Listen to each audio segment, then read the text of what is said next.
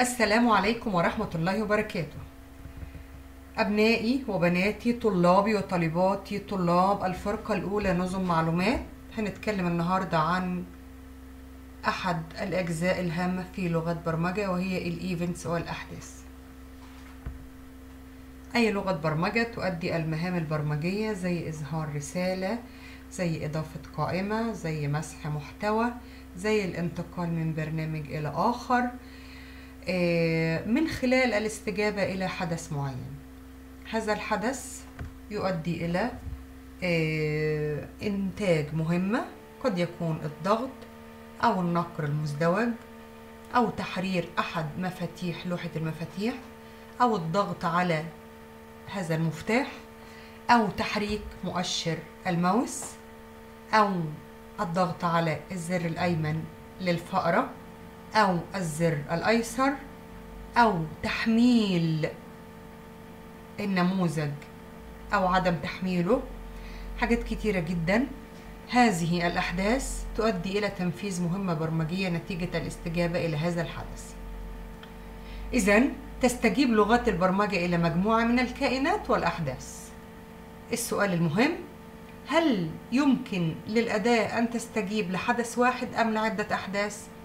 الحقيقة أن أي أداة يمكنها الاستجابة إلى عدة أحداث بشرط أن كل حدث يؤدي مهمة برمجية مستقلة. الأحداث في لغات البرمجة تبدأ بالحدث الديفولت أو الافتراضي وهو الحدث click. private void button 1 underscore click. إذا الكائن الموجود عندي الآن هو الكائن button 1 هتضيف نموذج بعد ما تفتح ال C sharp تضيف form 1 وتضيف إليه button 1 ثم تقوم بالضغط المزدوج على button 1 لفتح نافذة الكود.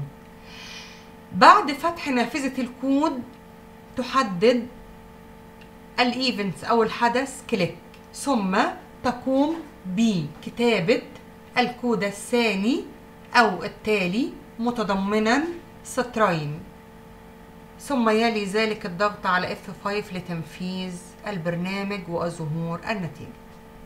ما هو محتوى كود زر الأمر؟ Message box dot show. ثم استخدام F5 للانتقال إلى طور التشغيل بمجرد الضغط one click على button 1 سيتم إظهار صندوق رسالة بشرط إنك تكتب محتوى الرسالة اللي هيظهر وليكن الضغط على زر الأمر أو اسمك أو سنك أو طلاب الفرقة الأولى نظم معلومات ونفذ البرنامج وأطبع النتيجة. الحدث الثاني من الأحداث الهامة جدا في لغات البرمجة وخاصة ال C sharp هو mouse down ثم mouse move mouse down من خلاله بضغط على right left and باستخدام مؤشر الماوس بقدر استخدم right and left button. مؤشر الماوس دايما له زرين زر أيمن وزر أيسر واحيانا زر أوسط. طيب تمام. حتى اللابتوب عندي إمكانية إن أنا أستخدم الزر الأيمن والزر الأيسر. mouse down من الأحداث التي تستخدم مع مؤشر الماوس. ممكن أستخدم هذا المؤشر لإظهار رسالة. هذه الرسالة تختلف وفقا لنوع زر الماوس الذي تم الضغط عليه. إذا تم الضغط على زر الماوس right هتظهر رسالة معينة. لو تم الضغط على زر الماوس left بتظهر رسالة مختلفة تماما. يبقى أنا هنا مخيرة بين واحد من زرين الماوس يبقى لازم أستخدم الكود التالي وحالة if الشرطية لظهور صندوق رسالة يتضمن اختيارين private void form 1 underscore mouse down إذا مين الكائن form 1 مين الحدث المستخدم؟ mouse down هضغط double click على form 1 أختار الحدث من نافذة الكود باسم mouse down ثم أدخل الكود التالي بنافذة الكود الخاصة ب form 1 يبقى مين هيستجيب ل mouse down form 1 if e button مين e button زر أمر. اسمه button 1 هغير التعريف بتاعه إلى e button أو أخليه button 1 equal equal mouse button dot left لو أنت ضغطت على الزر الأيسر للماوس أظهر الرسالة التالية. message box dot show؟ left button clicked الرسالة النصية التي توضع بين two quotation تطبع كما هو. else e button equal equal mouse button dot right إذا تم الضغط على الزر الأيمن للماوس اذا أظهر الرسالة التالية. ما هي؟ message box dot show right button click تم الضغط على الزر الأيمن لمؤشر الماوس. بمجرد ما تشغل البرنامج ويتم التمرير فوق أي من أزرار الماوس الايمن أو الأيسر بتظهر الرسالة التالية. نفذ الكود واظهر النتيجة. طيب الحدث الثالث. نركز يا شباب. ده الحدث رقم ثلاثة. the key down key down يعني استمرار الضغط على أحد المفاتيح الموجودة بال keyboard. الضغط على أحد المفاتيح الموجودة بال keyboard. طيب توجد قبل كده قلنا عندي مجموعة كبيرة جدا من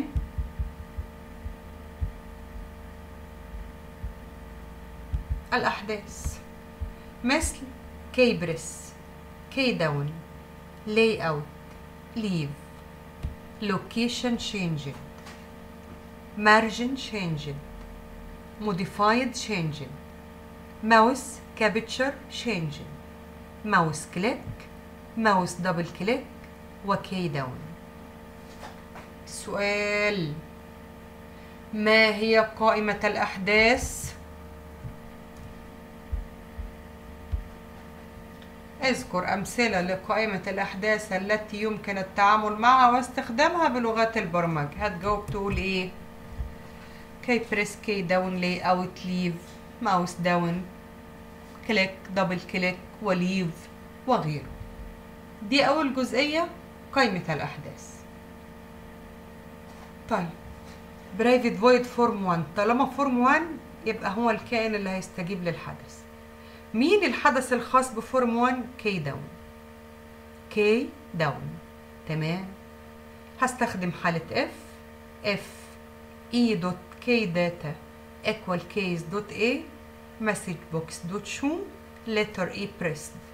تم الضغط على المفتاح A من الكيبورد. تم الضغط على المفتاح A من الكيبورد. تمام. الحدث الرابع.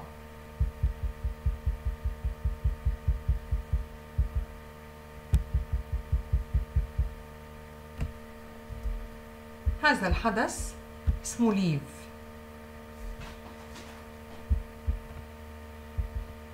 بمعنى المغادرة أو الترك. هذا الحدث مفيد جدا لمستخدمي مربعات النصوص ال text box ال text box ممكن يبقى فارغ من غير أي محتوى null ويمكن الحصول على text box فارغ بإن أنا أحط two quotation فاضي ما فيهوش أي data أو يتم ملء صندوق النص ببيانات زي ما شفنا قبل كده. ده الحدث leave يمكن الوصول لقائمة الأحداث من نافذة الخصائص بشرط الوقوف على أحد ال controls أو أدوات التحكم أو أدوات صندوق الأدوات أو نافذة ال form. ثم الانتقال لنافذة الخصائص بتظهر معك مجموعة كبيرة جدا من الأحداث.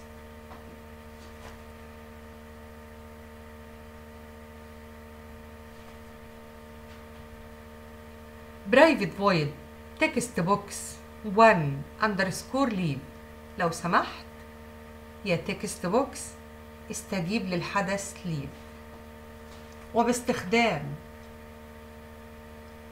حالة الشرط if text box 1 dot text equal null طالما بين two quotation وفاضي فمن فضلك اظهر الرسالة التالية message box dot show you can't leave this box blank يعني لن تستطيع ترك صندوق النص فارغ بلا بيانات.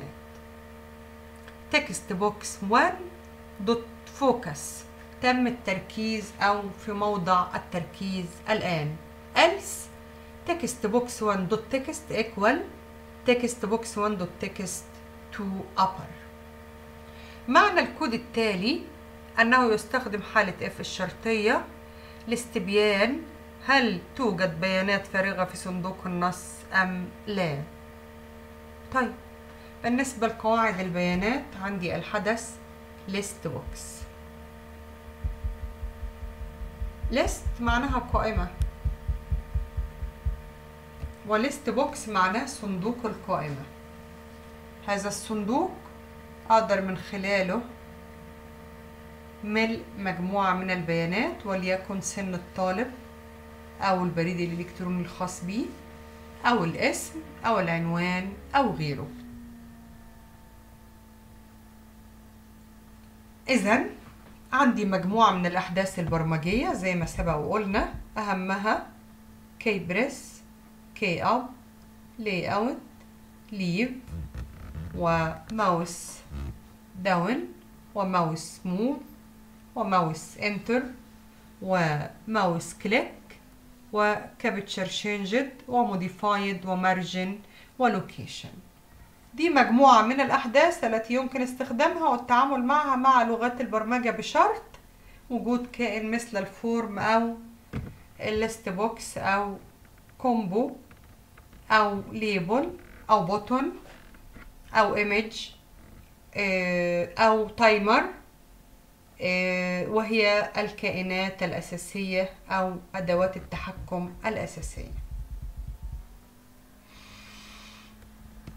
نخلي بالنا أنه هذه الأدوات يمكن استخدامها والتعامل معها بشكل مهم جدا ومفيد مثل بوينتر وبوتون وشيك بوكس وكومبو بوكس وتكست وتول تاب وتريفيو وغيرها pointer المؤشر. button زر الأمر. check box أداة الاختبار. checked list box زر القائمة أو مربع القائمة أو صندوق القائمة. ثم combo box text box صندوق النص tool tip أداة تقديم المعرفة أو المساعدة أو المعلومات؟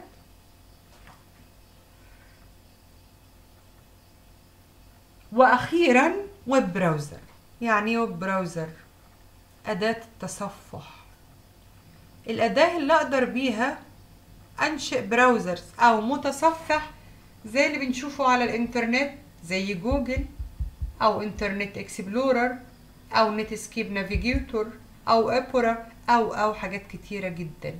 إذا أنا أقدر أنشئ browser أو أنتقل إلى متصفح أو أبني متصفح باستخدام لغات البرمجة؟ أكيد.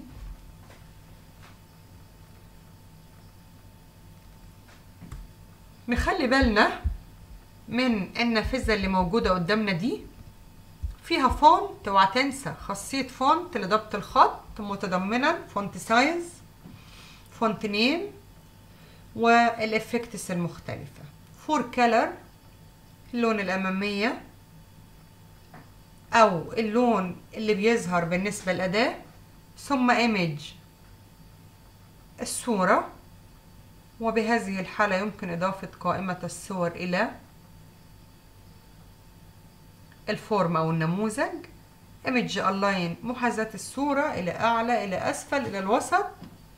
image key image list ولوكيشن ولوكد ومارجن مفتاح الصورة قائمة الصور الموقع ومدى التحكم في الصورة وتحجيمها بلوكد.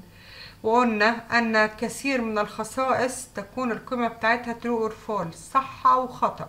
لو صح يتم الاستجابة ولو خطأ لا تتم هذه الاستجابة. خلي بالنا من الحاجات دي مهمة جدا ومسار أسئلة. طيب ده جوجل. لو أنا أقدر أنشئ متصفح ده form أهو. form 1 ظاهر معايا؟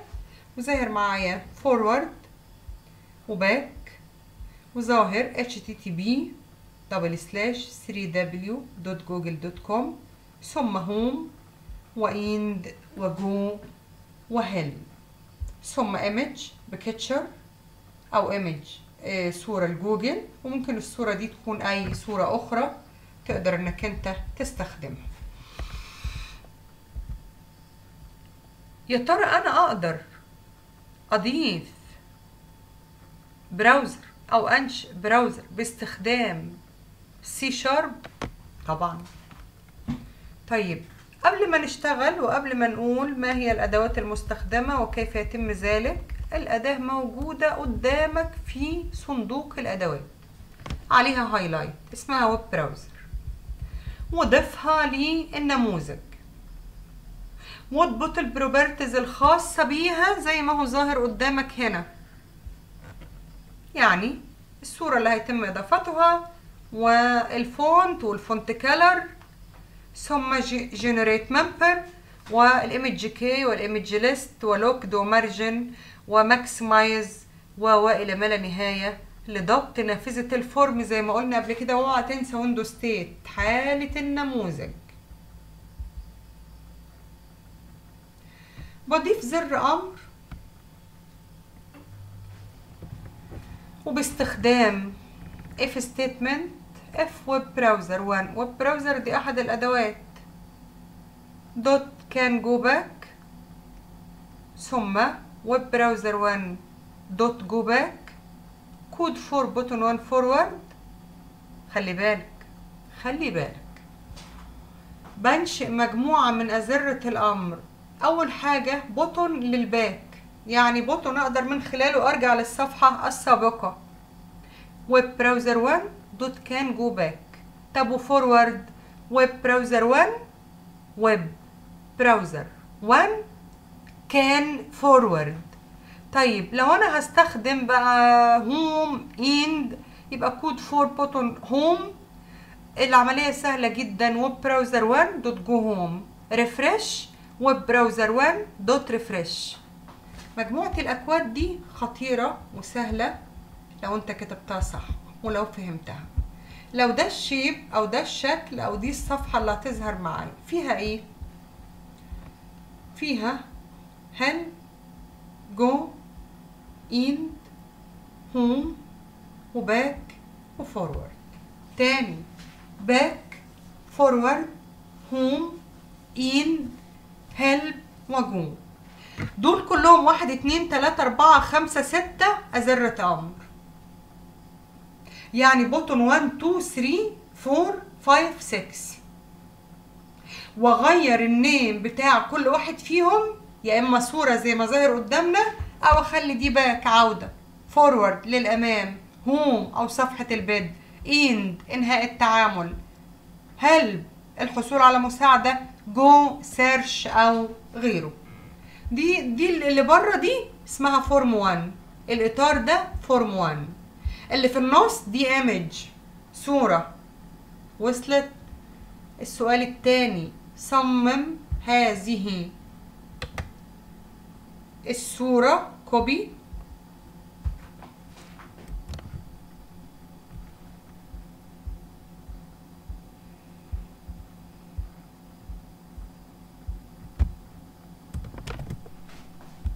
بص معايا.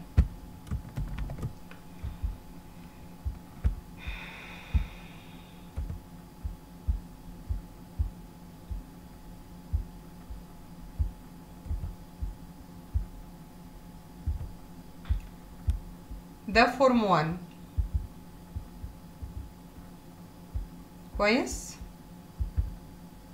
هتفتح Visual Studio تختار C Sharp Windows Form Application تضيف form 1 تضيف لي هذه الأدوات إلى form 1 form 1 ده اسمه أهو ظاهر قدامك. ضيف button 1 2 3 4 5 6 اذا 6 button 1 الأول تسميه back ثم forward home ثم end و help و go بعدها مباشرة صندوق نص text box null null يعني فارغ ما فيهوش أي بيانات. ثم image image يعني صورة. وهنا button 1 و button 2 ومجموعة من ال data ظاهرة عندي في الآخر. طالبة منك أنا عايزة منك تصمم هذا النموذج. صممه. ضيف مجموعة من الأدوات وفقا لاختيارك عدل ال data بتاعتها وظهرها بالشكل التالي. وإن شاء الله نكتب الأكواد بتاعتها في المحاضرة القادمة إن شاء الله. بس قبل المحاضرة اللي جاية شرط الأولى نظم. أشوف النموذج ده مصمم باستخدام C Sharp ويتبعت على ال mail. شغلكم قليل جدا. الناس اللي بتبعت شغلها تمام ما بتبعتش شغلك دي مشكلتك. عندك أي ظروف أو مشكلة من أي نوع ابعت قول إيه اللي مسبب لك مشكلة. ويا ريت الناس تبدأ تشتغل وتنجز لأنه خلاص مفيش وقت على الامتحان. الامتحان online offline ده مش شغلك. أنت عليك تعمل اللي عليك وبس. عندك أي مشكلة من أي نوع استفسر عنها وأشوفكم على خير في المحاضرة اللي جاية والسلام عليكم ورحمة الله وبركاته.